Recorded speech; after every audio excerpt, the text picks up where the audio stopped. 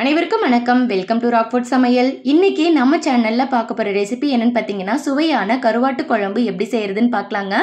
இந்த கருவாட்டு குழம்ப நீங்க வீட்டில் வச்சீங்கன்னா போதும். வீடு என்ன தெருவே மணக்கிற அளவுக்கு ரொம்ப ரொம்ப வாசனையாகவும் நல்ல சுவையாகவும் இருக்குங்க. இந்த கருவாட்டு குழம்புல நம்ம உருளைக்கிழங்கு கத்திரிக்காய்லாம் போட்டு செஞ்சிருக்கிறதுனால டேஸ்ட்டு ரொம்பவே பிரமாதமாக இருக்கும். இப்போ இந்த சுவையான கருவாட்டு குழம்பு எப்படி செய்யறதுன்னு பார்க்கலாம்.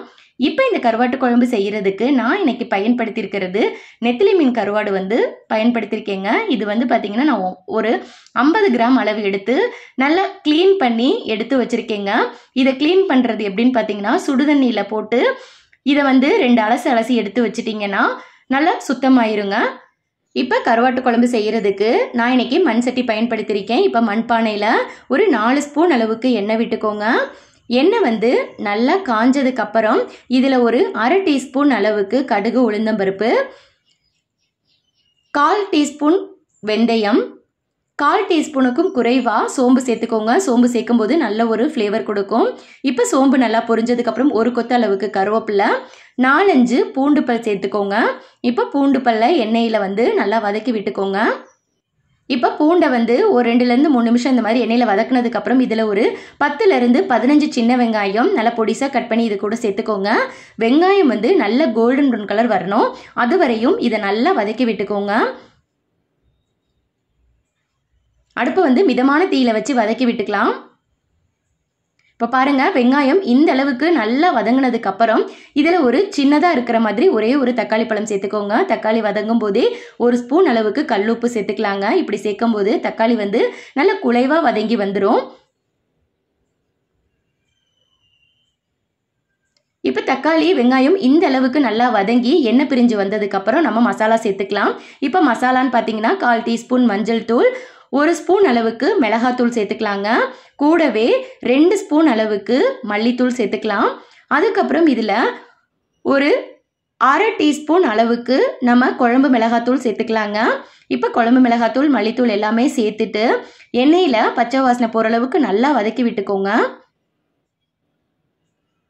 இப்போ இது எல்லாமே நல்லா வதங்கினதுக்கப்புறம் இந்த மாதிரி எண்ணெய் பிரிஞ்சு வரும்? அந்த நேரத்தில் நம்ம நான் வந்து ரெண்டே ரெண்டு கத்திரிக்காய் நீலவாக்கில் கட் பண்ணி சேர்த்துக்கிறேன். கூடவே ஒரே ஒரு உருளைக்கிழங்கு தோல் நீக்கிட்டு சேர்த்துக்கிறேங்க. உங்களுக்கு இதில் முருங்கைக்காய் சேர்க்க விருப்பம் இருந்தால் தாராளமாக முருங்கைக்காய் சேர்த்துக்கலாங்க. அது இன்னும் நல்லா டேஸ்ட் கொடுக்கும். இப்போ கத்திரிக்காய் உருளைக்கிழங்கு சேர்த்துட்டு இந்த மசாலாலேயே ஒரு ரெண்டுலேருந்து மூணு நிமிஷம் நல்லா வதக்கி விட்டுக்கோங்க.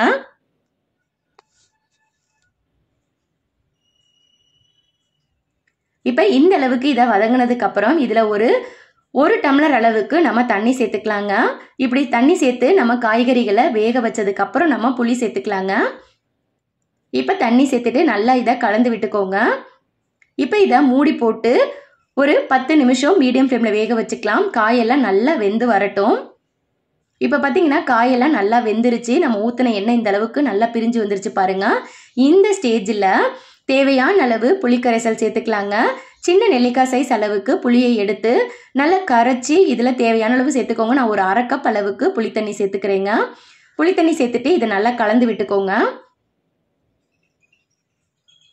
இந்த ஸ்டேஜில் நீங்கள் உப்பு காரம்லாம் செக் பண்ணிக்கலாம். இப்போ புளியோட பச்சை வாசனை போகிற அளவுக்கு ஒரு ஏழுலேருந்து எட்டு நிமிஷம் நல்லா இதை கொதிக்க வச்சுக்கலாங்க. இப்போ பார்த்தீங்கன்னா புளியோட பச்சை வாசனை எல்லாம் போயிருச்சு. நம்ம ஊற்றின எண்ணெய் இந்த அளவுக்கு நல்லா தெளிஞ்சு வந்ததுக்கப்புறம் நம்ம க்ளீன் பண்ணி வச்சுருந்த அந்த கருவாடை நம்ம இது கூட சேர்த்துக்கலாங்க. கருவாடு சேர்த்துட்டு நல்லா இதை வேக வச்சுக்கலாம். கருவாடு வேகிற டைம் பார்த்தீங்கன்னா மீடியம் ஃப்ளேமில் ஒரு பத்து நிமிஷம் இதை வேக வச்சிங்கன்னா கருவாடு சீக்கிரமாக வெந்துடும் ஆல்ரெடி நம்ம சுடுதண்ணியில் போட்டு அலசி எடுத்துருக்கிறதுனால ரொம்ப நேரம் எடுக்காதுங்க. இப்போ கருவாடு சேர்த்துட்டு இதை நல்லா கலந்து விட்டுக்கோங்க.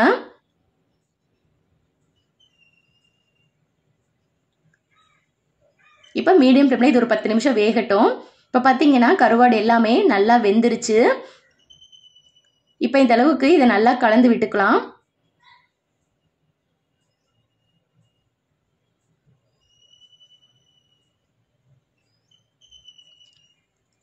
இப்போ இதில் நான் இன்னைக்கு ஒரு நாலு ஸ்பூன் அளவுக்கு தேங்காய் விழுது சேர்த்துக்கிறேன். வெறும் தேங்காயை மிக்சியில் அரைச்சி நான் சேர்த்துக்கிறேங்க. கூடவே கொஞ்சமாக தண்ணி சேர்த்துட்டு இது நல்லா கலந்து விட்டுக்கலாம். உங்களுக்கு தேங்காய் சேர்க்க விருப்பம் இருந்தால் சேர்த்துக்கோங்க. அப்படி இல்லைன்னா நீங்கள் கருவாடு வெந்த உடனே ஸ்டவ் ஆஃப் பண்ணிட்டீங்கனாலே சரியாக இருக்கும். இப்போ தேங்காய் சேர்த்துட்டு இதை நல்லா கலந்து விட்டுக்கலாங்க. தேங்காய் சேர்த்துட்டு ஒரு அஞ்சு நிமிஷம் மட்டும் குழம்ப வந்து கொதிக்க வச்சுக்கலாம். இப்போ தேங்காய் சேர்த்து ஒரு அஞ்சு நிமிஷம் நல்லா குழம்பு வந்து கொதிச்சிருச்சு எண்ணெயெல்லாம் பிரிஞ்சு வந்துருச்சு காய் எல்லாமே வந்து பார்த்திங்கன்னா நல்லா வெந்துருச்சு கருவாடும் சூப்பராக வெந்துருச்சுங்க. இப்போ நம்ம ஸ்டவ் ஆஃப் பண்ணிக்கலாம். அவ்வளோதான் ரொம்ப ரொம்ப சிம்பிளான கருவாட்டு குழம்பு. சூப்பராக ரெடி ஆயிருச்சு. இதை வந்து சாதம் இட்லி தோசையோட வச்சு சாப்பிட்றதுக்கு ரொம்பவே சூப்பராக இருக்கும். கருவாட்டு குழம்ப முத நாள் வச்சு வச்சுட்டு மறுநாள் சாப்பிட்டீங்கன்னா ரொம்பவே டேஸ்ட்டாக இருக்குங்க. கண்டிப்பாக நீங்களும் இந்த ரெசிபியை செஞ்சு பார்த்துட்டு உங்களோட ஃபீட்பேக்ஸை எனக்கு கீழே கமெண்ட் செக்ஷனில் சொல்லுங்கள் என்னோட இந்த பதிவு உங்களுக்கு பிடிச்சிருக்கும்னு நினைக்கிறேன். அப்படி பிடிச்சிருந்தா நம்ம சேனலை மறக்காமல் சப்ஸ்கிரைப் பண்ணிக்கோங்க. என்னோட இந்த பதிவை பார்த்ததுக்கு நன்றி.